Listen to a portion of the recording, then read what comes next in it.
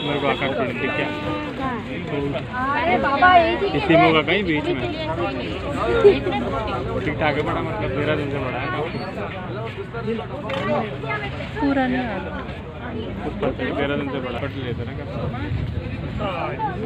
ले लो अभी